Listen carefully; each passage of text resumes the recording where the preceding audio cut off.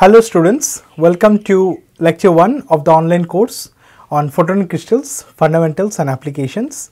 So in this course we will provide a detailed introduction to this new technology, photonic crystals, covering their fundamentals and discussing their latest advancements. Now if you look into photonic crystals, this is inspired by the concept of electronic band gaps in semiconductors and it was proposed uh, first in late 1980s as periodic structures that can control the flow of light.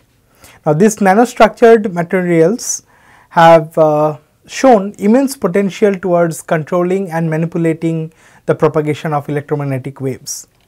In the future, photonic crystal also holds the promise to revolutionize various technologies. They can enable um, ultra compact optical circuits, leading to faster and more efficient data communication. Additionally, they may open door to new advances in quantum computing and imaging technologies, paving the way for a brighter and more interconnected future. They also have a lot of application in 6G um, technology. So, that is why photonic crystal becomes very relevant in today's world. This course will first uh, cover the overview and applications of photonic crystals. Then we will go into the fundamentals of uh, electromagnetic wave theory of light. We will talk about photonic band structures. Later on the course will also focus on the analysis and discussions of 1D, 2D and 3D photonic crystals. This course will also introduce discussions regarding uh, photonic uh, periodic dielectric waveguides, photonic crystal slabs and photonic crystal fibers. So, finally, the course will end up discussing um, photonic crystals for different applications. So, we have actually designed this course for undergraduate and postgraduate students with some basic knowledge of physics and electromagnetics. So, we hope that UG and PG students with background in electronics, electrical, instrumentation, physics, chemistry, chemical, material science and engineering and any researcher and or industry people working in the areas of photonics and related areas will be benefited from the course content. So, we believe that this will surely motivate you to study further and explore this uh, exciting interdisciplinary area of research which has got endless opportunities. So, here is the course plan. So, we will cover uh, 10 modules over the span of 36 lectures. So, the introduction week will cover the motivation and introduction to photonic crystals. We will give a brief overview of the photonic crystal technology and discuss the fundamentals of electromagnetic theory of light. In week 2, we will cover more or less all the fundamentals of electromagnetism in dielectric media needed for this particular course. So, we will discuss about electromagnetic properties of material, electromagnetism as eigenvalue problem and scaling properties of uh, Maxwell's equation. In week 3 and or module 3, we will look into the symmetries and electromagnetic modes of a dielectric structure. So, we will be discussing about the symmetries for the classification of electromagnetic modes. We will discuss about real and reciprocal lattice, will photonic band structure and how do you compute them and analyze them.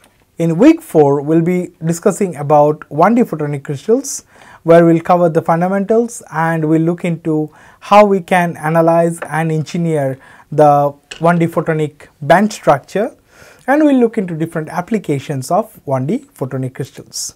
In week 5, we will be discussing more about 2D photonic crystals, we will discuss about their fundamentals, we will analyze and engineer the 2D photonic band structures and discuss some important applications of 2D photonic crystals. Week 6 we'll go into the 3D photonic crystals and we will look into different structures or designs of 3D photonic crystals, how do we get crystals with complete band gap and some applications of the 3D photonic crystals. Week 7 will cover periodic dielectric waveguides. So, there we will be discussing about the overview and modeling of periodic dielectric waveguides. We will discuss about point defects in those waveguides and the qualif quality factor of lossy cavities and we will take some examples like fiber Bragg grating and discuss their applications. Week 8 or module 8 will be focusing on uh, photonic crystal slabs where we will give a brief overview of how it is designed and then different types of defects that you can introduce in uh, photonic crystal slabs and also how do you engineer high Q resonant cavity. Module 9 will be placed across two weeks, week 9 and 10. So, there will mainly focus on photonic crystal fibers. So, that is a lot of uh, different application areas we will be covering. So, we will first start with the overview and then index guiding photonic crystal fiber. We will discuss about band gap guidance in Holey fiber. We will also go and discuss about Bragg fibers, the losses in hollow core fibers and different applications of photonic crystal fibers. And the last module that will be on designing photonic crystals for different applications that will be spread across 2 weeks 11 uh, and 12. So, there we will be looking into how do you design a mirror, waveguide and cavity. Then we will discuss about temporal coupled mode theory fundamentals. We will analyze the different structures like filter transmission and waveguide bands using temporal coupled mode theory. We will also take this theory further to discuss and analyze waveguide splitters and 3D filters. We will discuss about nonlinear filters and bistability and also unusual refraction and diffraction effects. So, we will actually cover different application aspects of photonic crystals to end this course. So, as you can see every week we will come with an online assess assignment and at the end of the course you will have an exam if you register to do so. Now, before we begin the study of uh, photonic crystal, we need to pay some attention on the electromagnetic spectrum. So, here you can see the entire electromagnetic spectrum that ranges from radio waves to gamma waves and this is the wavelength that has been mentioned in meters. So, radio waves like 10 to the power 3 meters is the typical wavelength whereas gamma rays are very very tiny wavelength. So, 10 to the minus 12 uh, meter okay and these are the corresponding um, frequency scale and the corresponding uh, black body temperature of the black bodies that can emit this particular radiation. So, what is interesting is that in this entire spectrum there is only a very small portion that you can actually see. So, 400 nanometer to 700 nanometer is typically the wavelength that is visible to human eyes. Now, I believe all of you know this particular frequency wavelength cheat sheet that, that helps you convert the frequency to corresponding wavelength. So, you can express the speed of light c as uh, 3 into 10 to the power 8 meter per second or you can say it is 30 gigahertz centimeter. So, it means a wave of 30 gigahertz will have 1 centimeter uh, wavelength. If it is 15 gigahertz, it will have 2 centimeter wavelength and so on. So, now let us go into the discussion of photonic crystal. So, when you first say photonic crystal, you first need to understand what is photonic Okay. So, photonics is basically a subcategory of optics that focuses on the science and technology of photons. Now, photon is often interchangeably used. Now, photonics, photonics is often interchangeably used with optics, but they do have distinct meanings.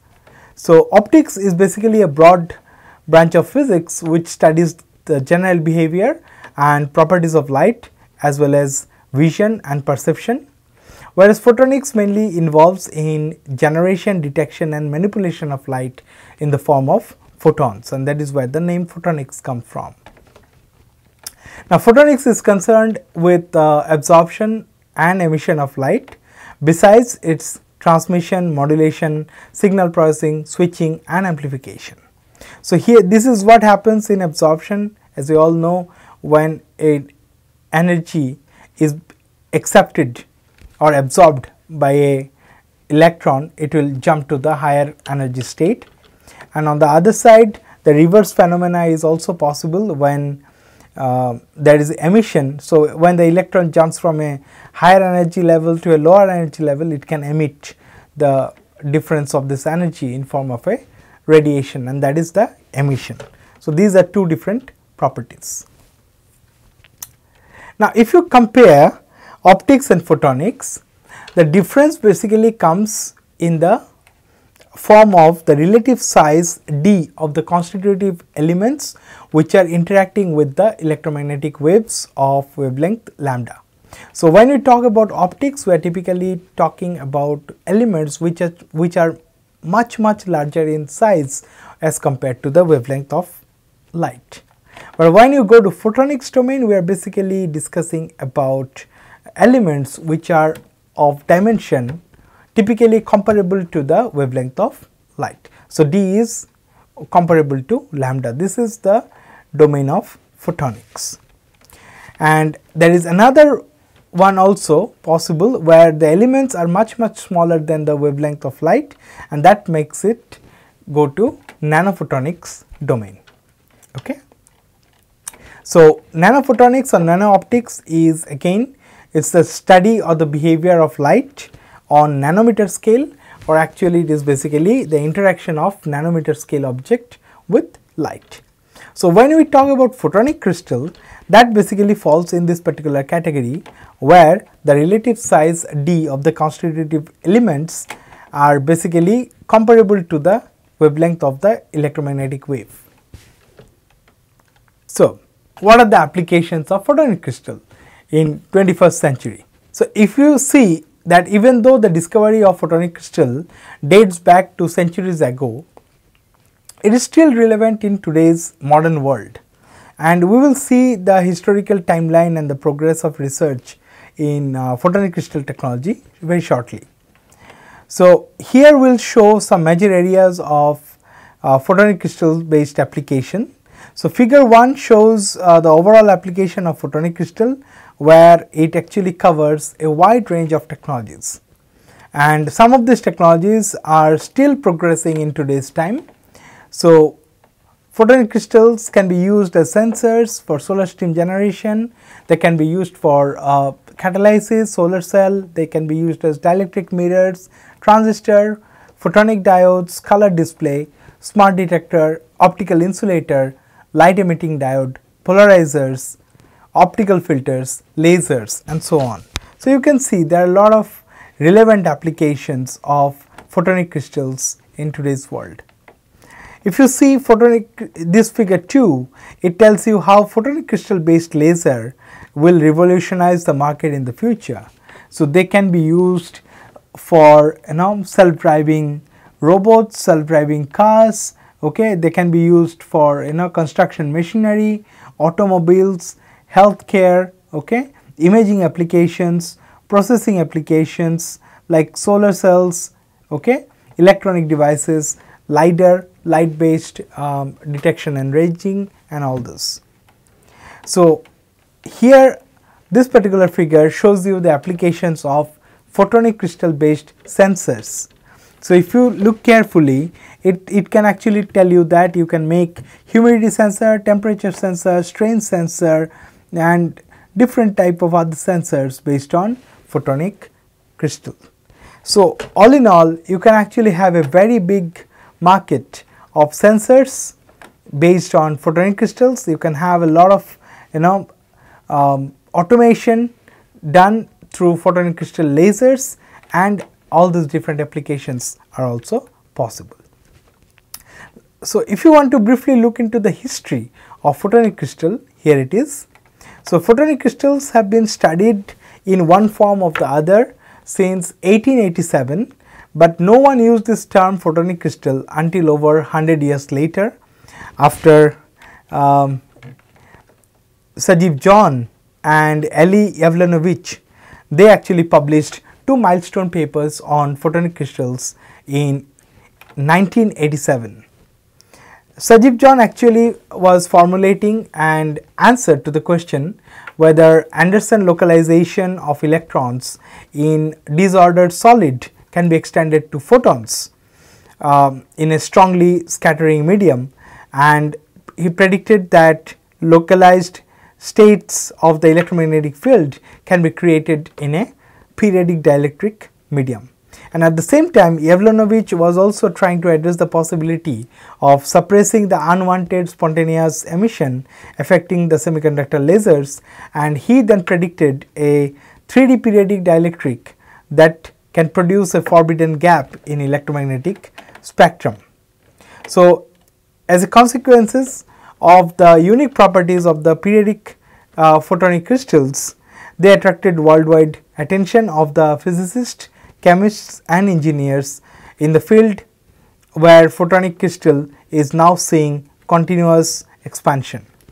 So, the computational demonstration of photonic crystal was shown in 1990 by Chan and Soukoulis. In 1991, experimental demonstration of microwave photonic crystals were done by Yablonovitch group. In 1995, large scale 2D photonic crystal in visible range was done by uh, Grüning and Lehmann. 1998 saw small scale photonic crystals near visible and large scale inverted opals and in 1999 the first photonic crystal based uh, optical device such as lasers waveguides were realized. So, that is a brief history of photonic crystals and what is the motivation of working on photonic crystal currently is that the photonic crystal market is expected to grow exponentially. You can see it is expecting a growth rate of 8.2 percent CAGR. Growing use of image sensors and LED applications have fostered demand for photonic crystals. Lower power consumption, low power consumption, high reflectivity and high resolution of pixels per inch. These are basically driving the demand for photonic crystal during this forecast period. You can also see the number of papers being published on photonic crystal over the years. So, this is typically the data um, during the COVID break. So, there is this uh, bit of decline here, but overall the trend shows you that there are a lot of people still interested in the research of photonic crystals. Figure 2 here shows the photonic crystal market analysis in different sectors like manufacturing, healthcare, aerospace and defense, industrial and others and you can see that there is a rapid growth towards you know 2027 as well. So, with that we understood the application brief application area and motivation behind studying uh, photonic crystal technology and right now let us go into bit of um, technical details of each of these terms.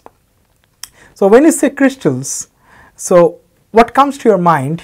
So, people usually visualize uh, beautiful mineral objects with smooth faces in uh, regular dielectric patterns. Others might uh, imagine elegant glassware. For gemologists, the scientific definition uh, of a crystal goes uh, right to the atomic level. So, it is something like a solid material uh, whose constituents such as atoms, molecules or ions are arranged in a highly ordered microscopic structure. Okay. So, this is typically a crystal of quartz. So, there are different crystal types. So, we can say a solid material is crystalline where the atoms, ions or molecules are arranged in a ordered and repeating manner, okay, something like a flawless diamond. There are this, this is how crystalline arrangement looks like. It's a perfect orderly pattern and then you have polycrystalline which consists of multiple crystalline regions which are known as grains as you can see here are different crystalline regions okay so uh, common examples are like most metals and ceramics and then there is amorphous uh, materials which are basically non-crystalline materials which lack a regular or repeating uh, atomic structure. So, it results in a disordered uh, arrangement. So, typical example is glass. Now, remember that not all solids are crystals. So, for example, when liquid water starts freezing, the phase change begins with small ice crystals that grow until they fuse, forming a polycrystalline structure. In the final block of ice, each of the small crystals, which are called crystallites or uh, grains, is a true crystal with a periodic arrangement of atoms, but the whole polycrystal does not have a periodic arrangement of atoms because the periodic pattern is basically broken at the grain boundaries. so from that those are like natural crystals from that people have engineered photonic crystals now what is photonic crystals? Photonic crystals are basically composed of periodic dielectric or metallodielectric nanostructures that affect the propagation of electromagnetic light. Now they are basically containing regularly repeating internal regions of high and low dielectric con constant. So, here you can see different colors they represent different dielectric constants. So, this is where high low high low being repeated in 1D one direction. So, it is called a 1D periodic crystal or 1D photonic crystal. This one shows the periodicity in basically two dimension. So, here high low high low patterning is changing in two directions. So, this is basically two dimensional photonic crystal and this is a three dimensional photonic crystal. So, the different colors here they represent different uh, materials with different dielectric constants and uh, what is important. So, 1D, 2D and 3D basically are the periodicity of the dielectric material along one axis or more. So, that will tell you what photonic crystal it is whether it is a 1D photonic crystal or 2D or 3D photonic crystal. Now, by shaping the incident waves one can steer the waves deep into the crystal thus enabling the focusing of light at any desirable depth as shown in this particular figure. So, here we will also see in the next slide that how basically a designer can control the propagation of light in this crystal. So, photonic crystals work by exploiting the principles of interference and periodicity to control the propagation of light within the material. So, here is the Bragg diffraction seen in a 1D photonic crystal. So, this is like one layer and then this is another layer the difference between the two atomic plane is d. So, here is wave 1 that has been reflected from the second layer and this is wave 2 that is reflected from the top layer. So, what is the difference? The part difference between the two is this is the d sine theta. This angle is theta, this distance is d that is the distance between the two planes okay and d sine theta is basically the length in one arm. So, the overall difference in path length will be 2 sine theta. So, when this 2 sine theta the path length is integral multiple of lambda that is where you can say that these two waves will interfere constructively. So, that is the case where you will see that you are getting reflection. So, in those case according to Bragg's law where the inter constructive interference condition is met, you can say it is for a particular lambda and a particular angle and that particular light is reflected by the crystal.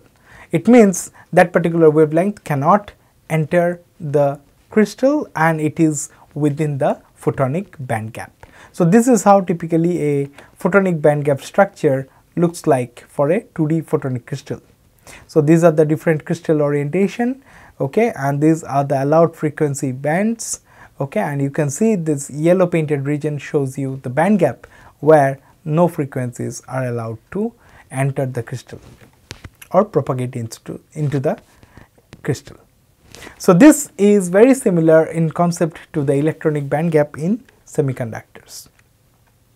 So, the principle of propagation of light is in the same way as the periodic potential in a crystal affects the electron motion in semiconductors and you can actually do that by defining allowed and forbidden electronic energy bands just like this shown here. So, photons as waves they can propagate through the structure or not depends on their wavelength. So, this frequency also can al it, it also carries the information of the wavelength right. So, the wavelengths of light that are not allowed that that are allowed to travel th those are known as modes and a group groups of allowed modes form bands okay. So, the disallowed bands of wavelengths are called photonic band gaps. Okay.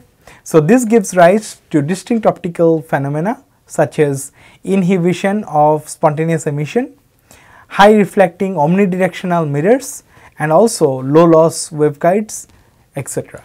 So, if you carefully look into the band diagram and create a waveguide which is a band waveguide 90 degree band waveguide and you can see if so this is a 2D arrangement of say holes or cylinders okay we will go into the details of the structure later on. What you can see one particular row is missing here. So that is how you create a line defect.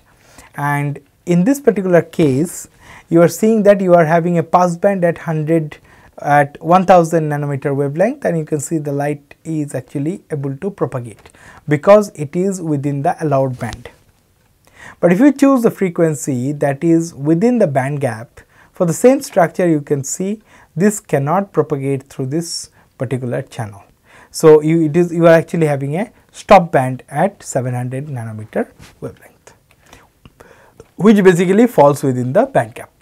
So, here the main idea is to show you that you know within the band the frequencies outside the band gap can propagate, but which lies within the band gap cannot propagate through this crystal. So, if you compare um, photonic crystal with the semiconductors, you can say that photonic crystals are basically semiconductors of light. In semiconductors, you have periodic arrangement of uh, atoms here in photonic crystal you have periodic variation of dielectric constant. This is how you do it in 1D, this is how you do it in 2D and this is how you do it in 3D. So, here it is atomic length, length scale, but here the length scale is of the order of uh, uh, wavelength. Here you are mainly talking about the natural uh, structures, but here these are mainly uh, artificial structures which are man-made designed. So, they can control electron flow whereas photonic crystals can control electromagnetic wave or light flow. Okay. So, semiconductor as we know have revolutionized electronics industry and then photonic crystals now have the potential to revolutionize photonic circuits, photonic integrated circuits as well as towards 6G uh, communication where different devices can be actually made using topological photonic insulators. If you look into the natural photonic crystals, nature also gives us a lot of applications or application scenarios where photonic crystals are found. So, over the years scientists have discovered that uh, the iridescence of various colorful uh, creatures something from beetles to birds to butterflies they are not uh, mainly because of the pigmentation rather they are because of the microscopic structures which are there on the particular creature. So, here is the SEM image of a um, morpho butterfly wing. So, you can see these are basically periodic structures which are able to reflect these bright beautiful colors. Similarly, for all this uh, you know peacock feather and this um, crystal you can see that all of them are basically periodic crystal which are found naturally. So, this is for, for peacock feather and this is for a opal gemstone and this shows the SEM image of silica sphere st structure within this which is basically a 3D photonic crystal kind of arrangement which gives that bright color. Okay. So, this is for again from another butterfly and you can see the, the SEM image of the 3D structure for this particular white area. So, what is happening? The bright color that you see that are not coming from the pigmentation rather they are basically the color reflected because of the photonic band gap which exists naturally because of the structure of these natural objects. So, photonic crystal is being engineered by God for all these particular uh, creatures. Now, as engineers when we discuss and think about um, uh, photonic crystal engineering, we need to think why we need photonic crystals. So, the invention of photonic crystals actually addressed a long several long standing challenges in the field of optics and photonics And some of the key challenges that photonic crystals have helped overcome, they include light confinement and guiding. So, before photonic crystals achieving effective light confinement and guidance in small scale optical devices was very challenging. So, photonic crystals allowed for the creation of miniature waveguides, sharp bends, cavities that can confine and manipulate light at the nanometer scale, micrometer scale, okay, enabling the development of compact optical components. Second one is optical band gap creation. So, controlling the flow of light and creating optical band gaps. Band gaps is basically you know a region forbidden region for certain wavelengths was difficult with conventional optical materials, but photonic crystal allowed us to achieve those. So, photonic crystals actually engineered a way, introduced a way to engineer these band gaps enabling the development of photonic devices with precise spectral control. Further, it has also helped in high resolution imaging. So, when you want to do high resolution imaging, overcoming the diffraction limit in optical imaging becomes a long standing challenge. So, using photonic crystals, you can actually make super lenses and high resolution imaging techniques, which we will discuss in the subsequent lectures that has allowed researchers to image nanoscale features with great details and accuracy achieve efficient lasers. Achieving efficient and high performance lasers with narrow line widths and low threshold power was always a challenge. So, photonic crystals provided a platform for designing and fabricated fabricating advanced lasers which find applications in telecommunications and other scientific research. It has also helped towards optical signal processing.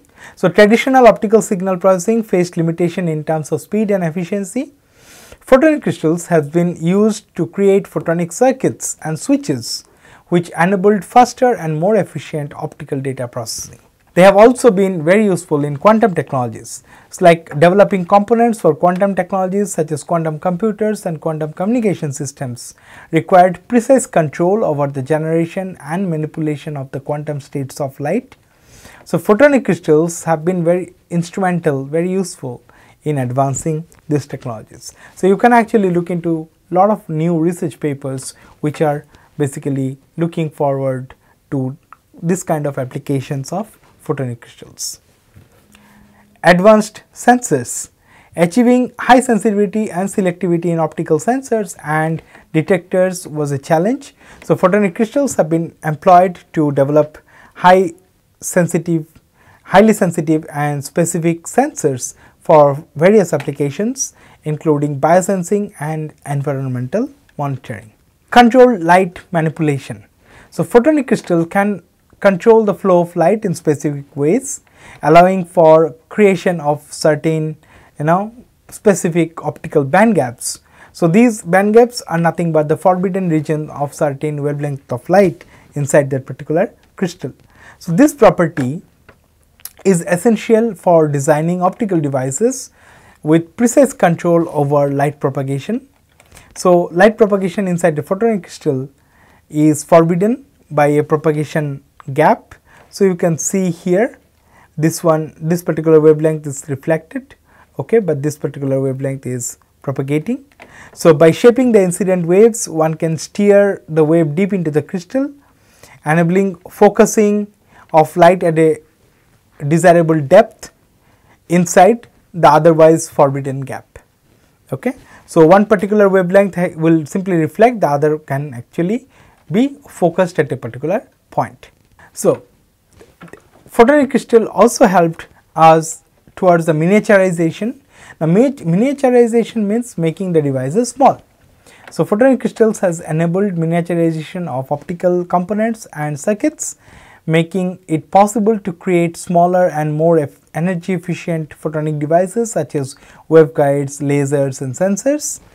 So, here you can see a photonic crystal waveguide based polarization filter. So, TE and TM both polarization may incident, but then TE is basically reflected back and only TM is allowed to propagate. Okay. So, only the TM mode So, what happens T is basically having a band gap and TM is allowed to propagate. Okay. Now, the second application is about photonic crystal based surface emitting laser. So, if you remember while many um, semiconductor lasers are edge emitting lasers and some of them are surface emitting that is the output beam is basically per perpendicular to the wafer surface. Now originally such uh, lasers have been realized as vertical cavity surface emitting laser or VCSELs okay, where the laser resonator contains at least one external mirror. However, it is possible to obtain vertical emission in combination with a horizontal cavity as well that is the device where the intracavity laser radiation propagates essentially in directions along the wafer surface. Okay. One of the ways to realize this kind of thing is to utilize a 2D photonic crystal structure okay, like this okay, and uh, such devices are called photonic crystal surface emitting laser. Okay. So, for VC cells one needs to strongly restrict the diameter of the active region when um, single mode operation is required that usually limits the possible output power to a couple of milliwatts. Higher much higher output power are possible with uh, larger active areas and this is where photonic crystal comes into the picture as it provides much larger active area while maintaining single mode operation. So, that is where photon crystal based surface emitting lasers are also gaining popularity. The other um, important aspect is optical computing. Uh, the development of photonic crystal has actually got the potential to revolutionize optical computing and by controlling the flow of light at nanoscale they can be used to build high speed optical gates and interconnects. So, these two you know the optical gates and interconnects can help you get um, faster and more energy efficient computing.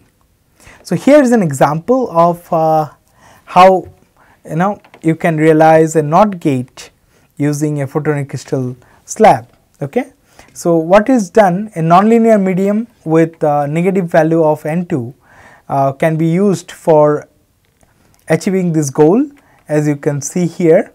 Okay, here coupling between the waveguide, so this is the waveguide and the nano cavity.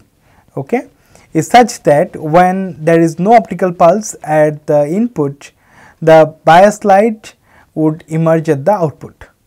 Okay, but on the other hand, when the optical pulse is passed through the input, refractive index of the medium gets uh, reduced due to the negative nonlinearity of the medium as a result, the resonant wavelength of the resonator differs considerably from the input wavelength of the bias light resulting in decoupling of the bias light from the nanocavity and the output.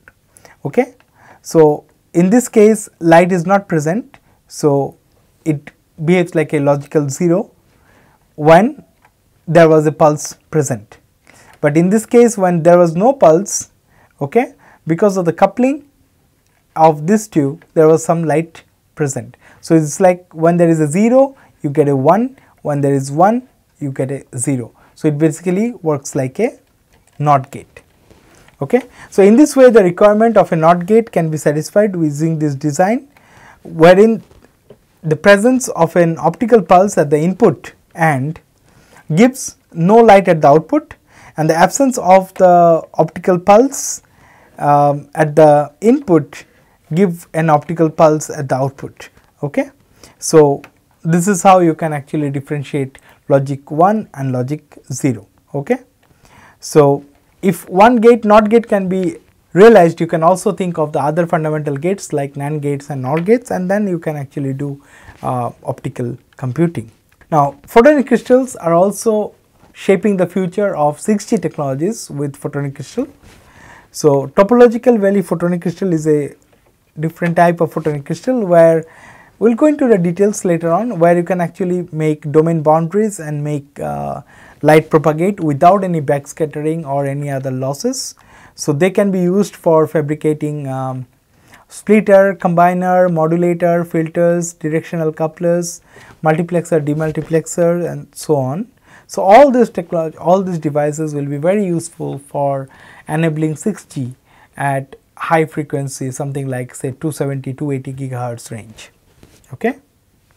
So, these are all based on topological photonic crystals that can revolutionize the communication technology. So, with the advent of 6G topological photonic crystals which are basically a special class of photonic crystals which can manipulate the flow of light and they are more robust to wave propagation through defects and bends. So, it is very this is a very dynamic area of research and it is a very hot topic people are currently working on it and in future they can come up with many exciting innovations. Okay. So, many passive and active devices can be modeled using this particular technology which can contribute towards setting up the entire 6G technology in the future. So, how it works? So, topological photonics is basically a cutting edge field of research that combines the principle from topology which is a branch of mathematics with photonics which is basically study of light. So, topology means where they will keep the main feature same, but then the shape can go some kind of transformation, but that will keep overall feature similar. Okay. So, we will go into details right now it is the first lecture. So, we will not tell you about more details uh, right now. Okay. We will see what are these topological photonics states they basically depend on these particular edge states and also this is a diagram of a topological um, photonic insulator where when a magnetic field is applied you can see circulating currents in the bulk, but then at the boundaries you can see helical loops okay, through which um, electrons can propagate. So, these are basically uh, robust against any kind of disorder or defects that is why there is no backscattering loss when you create um, structure based on topological photonic insulators. Okay. They are helpful in forming 1D channels that are basically developed at the edges of the sample. And that is why I was telling that we need to do it at the domain boundary. Okay.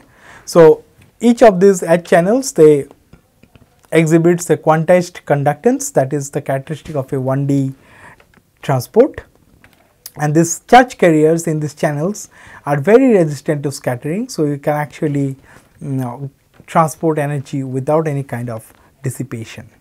So, where they are very important? They are very important towards the interconnect. So, when there is chip to chip interconnect which are typically made of copper, but when you go for high frequency something like 280 or 300 gigahertz which will be required for um, 6G technology. You can also see that the bandwidth density and the energy efficiency with the length of the um, interconnect it drops dramatically. So, and copper is also very lossy at those high frequencies. So, you basically need to use the silicon topological um, photonic insulator based interconnects for connecting one IC to another IC. Okay? So, there will be very good interconnects. So, you can see that the copper interconnect will be typically works at 3 to 6 gigahertz whereas silicon interconnect works around 335 gigahertz and they support much larger bandwidth density and also much larger aggregated data rate per channel. So, this is the future okay. We have to look for topological photonic crystal based solution towards developing these interconnects. So, this is a typical example of a straight domain boundary. So, this is like one unit cell and a different type of unit cell where there, there is a boundary. This is like a straight boundary. You can also arrange them in a twisted pattern. Okay. Simulation has shown that you know the twisted and the straight typically have the similar transmission characteristics as mentioned these topological states they do not have any backscattering loss and they are very robust to defects and bends. So, you can actually make them go in any shape without any loss. Okay. So, they are robust against imperfections and disorders and this robustness is critical for maintaining the signal integrity in high speed communication system making them less susceptible to signal loss and interference. They are also backward compatible, so um, topological photonics can be integrated into existing photonic systems, making it a viable option for upgrading the current 5G networks to meet the demands of the 6G communication. Okay, so all of you must be knowing that 6G communication demands terahertz of TBPS uh, data rate, where current 5G typically can deliver up to say 10 Gbps uh, data rate. So, 6G along with uh, topological photonic crystals is going to build the future technology. Efficient signal processing is also possible using this kind of structures because they enable efficient manipulation of photonic states allowing for faster and more energy efficient signal processing. This is particularly re relevant for 6G networks that will require massive data throughput and ultra low latency which is typically less than uh, few microseconds and also it supports advanced optical switching. So, photon topological photonic devices can offer advanced optical switching capabilities facilitating dynamic network configuration and adaptive routing which is crucial for managing the complexity of a 6G network where it is estimated that 10 million devices IoT devices will be connected over 1 square kilometer of land okay, as compared to 1 million that is connected in 5G technology. High dimensional data transfer rate okay. So, um, topological photonic will allow for exploration of higher dimensional optical states which can significantly increase uh, data transfer rates and capabilities addressing the ever increasing demands of 6G technology. And finally, the security aspect, okay, the topological protection um, of certain photonic states can enhance the security of optical communication, making it more resistant to eavesdropping and tampering. So, all in all you can see that photonic crystals although the technology was started several decades back still has got a lot of potential to become one of the promising technologies in the current context when 6G research is going on. So, topological photonic crystals are one of those important areas of research where researchers and industry people will be very much interested in.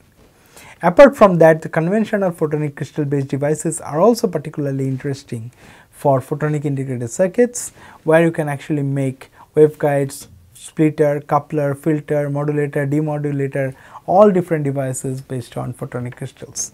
So, photonic crystal based device engineering or bandgap engineering is very very important and this is what is the main goal of this particular course to cover all these different areas and application and show you how to do it. Okay. So, with that we will stop here and uh, this is all for this introductory lecture or the first lecture on photonic crystals and if you have got any doubt you can drop an email to this particular email address deb.sikdar at iitg.ac.in mentioning MOOC photonic crystal on the subject line. Thank you.